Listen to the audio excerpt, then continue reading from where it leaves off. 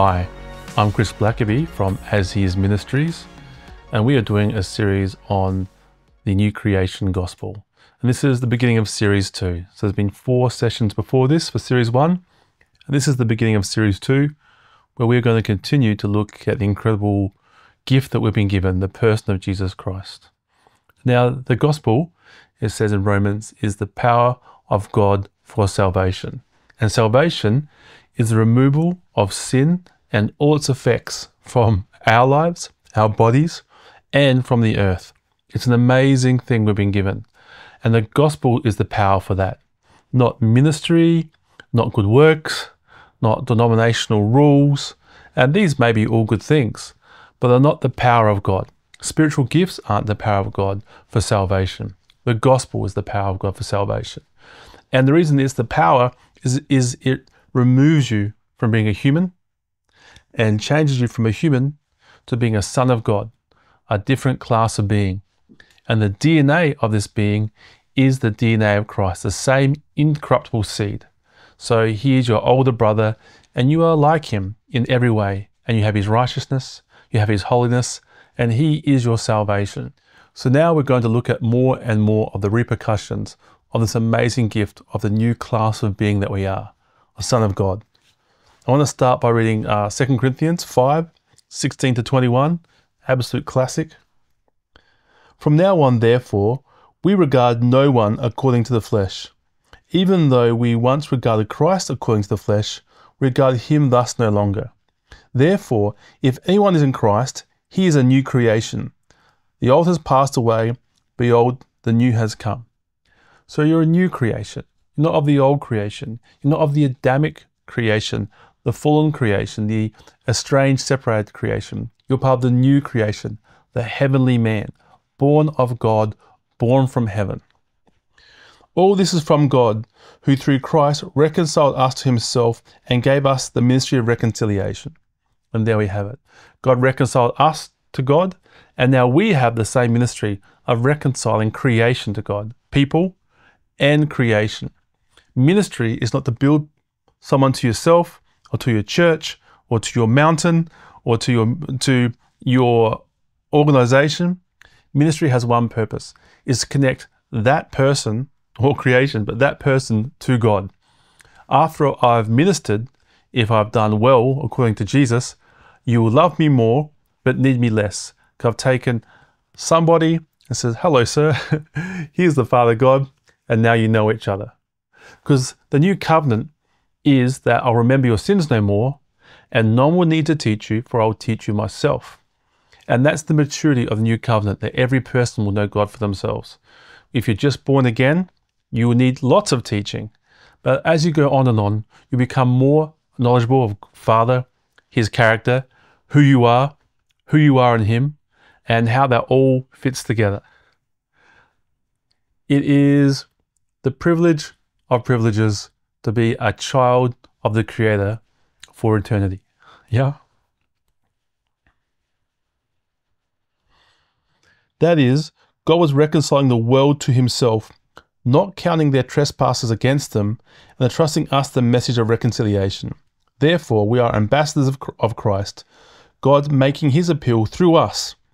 We implore you on behalf of Christ, be reconciled to God. For our sake, He made Him to be sin who knew no sin, that in him we might become the righteousness of God. And there it is. That's what the new creation is. Once you're reconciled to God through believing the word, the promise that God would do this for you, that Christ did do this. Christ, who knew no sin, became sin, that we might become the righteousness of God. And that's the righteousness that we are, the righteousness of God, His righteousness. How righteous is God? That's how righteous you are, because Christ is your righteousness. Christ, who is God, has given you Himself, and He has become your righteousness.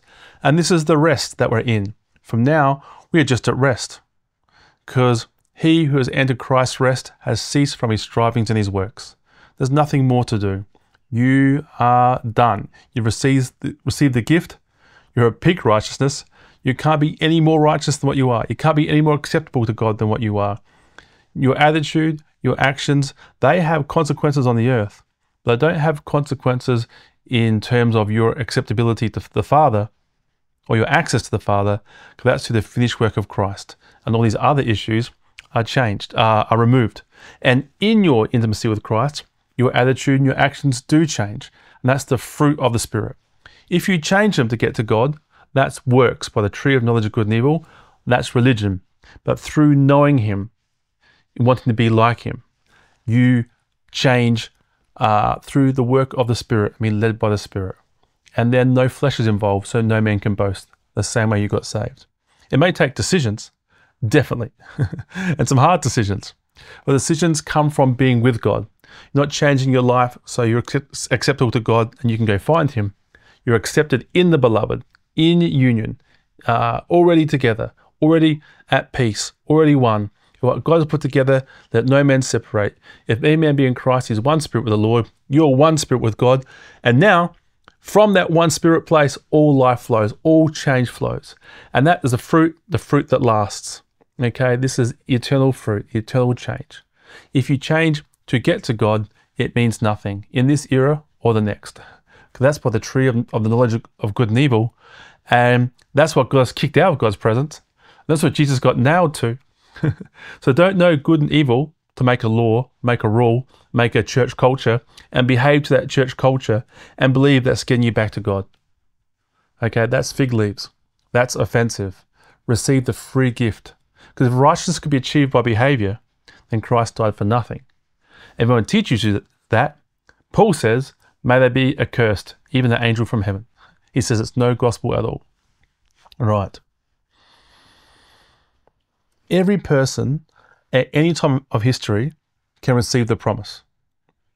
Any economic level, any education level, any intellectual level, any age at any time in the 1200s or now, it doesn't matter. You could be a farmhand in a, a farm in the north of Norway in the 1200s and receive the gift of the word. You could be a scientist or you could be a politician, you could be uh, raising five kids by yourself, it, you could be uh, an orphan who's been abandoned. It doesn't matter.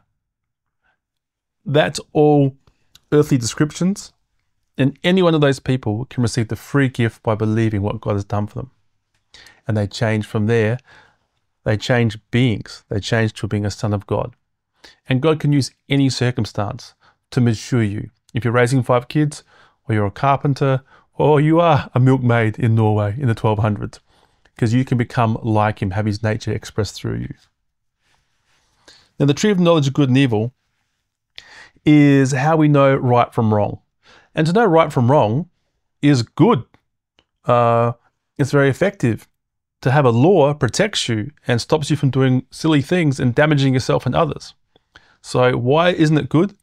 It's not good because we use it to qualify ourselves before the Father, which is offensive. Because if you're here as far from God as you can possibly get, and then by the knowledge of good and evil, you start doing things to get yourself closer to God, I've started giving money, and I've started reading my Bible, and I've started going to church. And then I didn't go to church this weekend. I read less of the Bible, but I said sorry. And I went to a worship meeting. This going back and forth, trying to get closer and closer and closer to God, is religion. A religion of our own invention by the help of Satan.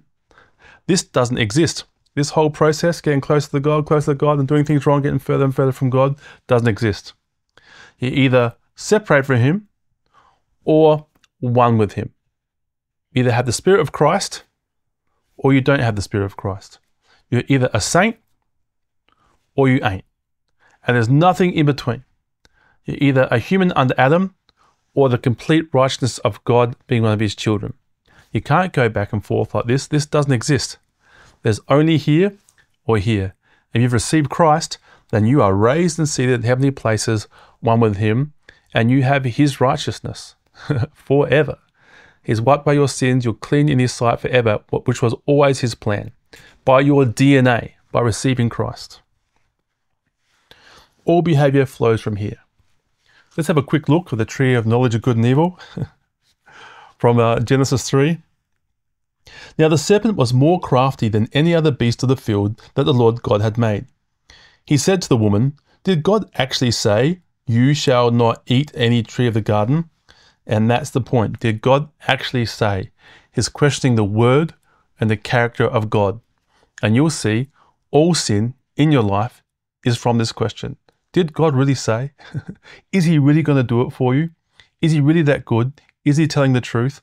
This is the fundamental pattern of going to the flesh as opposed to the spirit by a promise. Did God actually say, You shall not eat of any tree in the garden? The woman said to the serpent, We may eat of the fruit of the trees in the garden, but God said, You shall not eat of the fruit of the tree that is in the midst of the garden, neither shall you touch it, lest you die. But the serpent said to the woman, You will not surely die.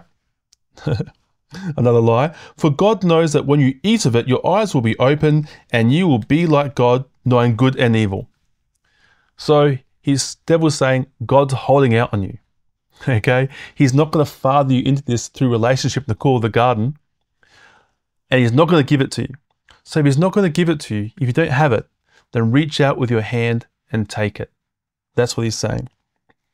And what we find out, if you think of your life and humanity, all sin, absolutely all sin, no matter what it is, thought or deed, is you reaching with your own hand to take something by your own strength that God wants to give you through relationship. And the reason you've reached out with your own hand is you don't believe God really said or that He'd really do it for you. It's a question on God's character and His word. And those questions come from another father, the devil. Okay? That's his record, that's his voice saying, Did God really say that? And you, you work out, oh, you might read the Bible say, He did really say that. And then he says, But will God do it for you? He's holding out on you. He knows that you're missing out on something. So just reach out with your hand and take it. Now, this is more important for us in this situation and talking about righteousness. If you don't believe that God has given you his righteousness, if you don't believe you have it already, he hasn't given it to you, you'll reach out with your hand and take it. You'll do something. For the knowledge of good and evil, you'll do something good. But the tree of the knowledge of good and evil has one fruit, the good and evil fruit. Here it is. The good and evil fruit. Okay? If you do something good, you've done something evil. It's one fruit. It's not a good fruit and an evil fruit. The good and evil fruit. You do something good for God. I am going to start an orphanage for God so that uh, He's happy with me and I'm a good Christian. okay? You've just done something evil if you're doing it to become righteous, to put yourself before God. Okay, it's a religion of your own invention, and you're reaching with your own hand to do something to get God's approval through what He wants to give you through relationship and a gift. But if you receive His approval as a gift, from there, start 10 orphanages from peace, from rest, co working with your Father. But as soon as you don't believe you're with your Father, if you don't believe you have His acceptance, you'll do something to get it. And that is all our spiritual laws and denominational laws and Christian laws that we judge ourselves by, by the tree of knowledge of good and evil, and we judge others by. Now, these laws aren't bad of themselves.